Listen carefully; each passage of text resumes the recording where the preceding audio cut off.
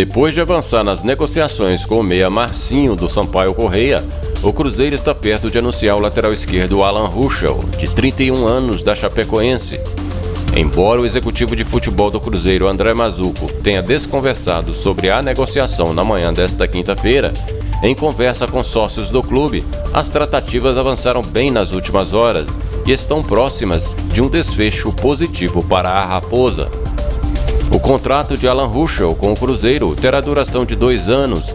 Se anunciar a contratação, o time celeste terá vencido a concorrência do América, que também tinha interesse em contar com o jogador na próxima edição da Série A. Pela Chapecoense, Alan Ruschel atuou em 74 partidas e marcou dois gols.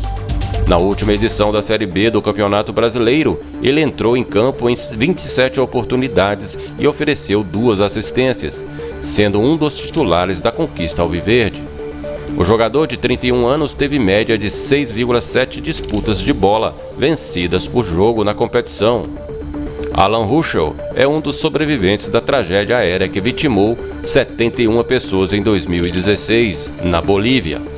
Naquela ocasião, o voo Lamia 2933, que levava jornalistas e membros da delegação da Chapecoense para a final da Copa Sul-Americana contra o Atlético Nacional da Colômbia, caiu. Em setembro de 2020, Bushel foi procurado pelo Cruzeiro.